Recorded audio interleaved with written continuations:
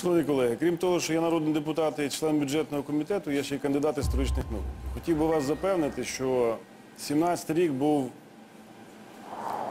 важливим, складним і взривоопасним, але для зовсім іншої країни, для Російської імперії.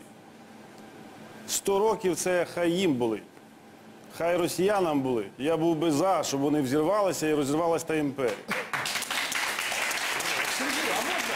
Я бы с вами... 100 років національної революції, між іншим. Я 100 би з вами- років я тому би з вами Українська согласився, Народна Україна Республіка дуже захлебувалась кров'ю стала, событий. Україна отримала другий шанс стати державою, але, на жаль, його не втримала. Що нам треба зробити, щоб її втримати? Для мене особисто дві питання. Перше, це безпека, нам треба вистояти. Нам кров з носу треба вистояти, попри бунти, попри незадоволення людей, які очевидно є і буде, поки не покращиться життя людей, це розумію. Для мене питання номер один це уряд, коаліція і всі, хто боліє за державу, мають вирішити долю людей похилого віку.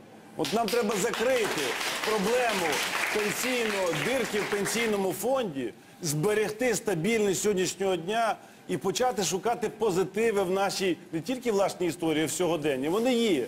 Ми не можемо в кінці року говорити тільки про негативи. Сергей, позвольте, Згадайте про позвольте, те, позвольте що ми мне рік кое-что, живемо без російського позвольте мне газу. кое-что добавить к сказанному вами. Закрыть дырку в пенсионном фонде.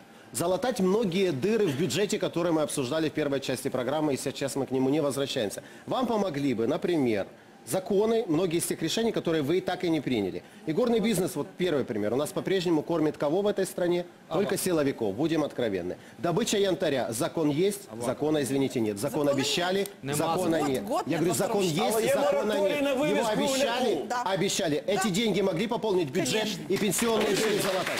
У меня не все. Земельная реформа, вы приватизацию даже